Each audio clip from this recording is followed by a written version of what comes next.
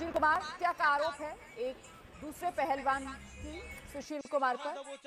हत्या के मामले में दोनों लगातार फरार चल रहे थे, जिसके बाद दिल्ली पुलिस ने सुशील कुमार के ऊपर एक लाख रुपए का इनाम रखा था और उसके साथी अजय के ऊपर पचास हज़ार रुपए का इनाम रखा था। एंटिसिपेटरी बेल भी कोर्ट से सुशील कुमार की रिजेक्ट हो चुकी थी। चार मई की रात को दिल्ली के छत्रसाल स्टेडियम के अंदर झगड़ा हुआ था पहलवानों के दो गुटों के बीच में, जिसमें सागर धनखड़ नाम के पहलवान की मौत हो गई थी। अस्पताल में जब उसे लेकर जाया गया, डॉक्टर ने मृत घोषित कर दिया था।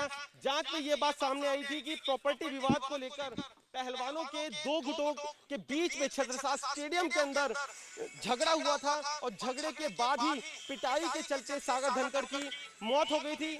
शुरुआती जाँच के बाद पुलिस को एक वीडियो भी बरामद हुआ था, जिसकी फोरेंसिक जाँच कराई गई। फोरेंसिक जाँच से साफ़ था कि वीडियो बिल्कुल सही है और इस वीडियो के अंदर सुशील कुमार पिटाई करता हुआ भी नज़र आ रहा था, जिसके बाद से ही पुलिस सुशील कुमार और उसके साथी अजय की तलाश कर रही थी।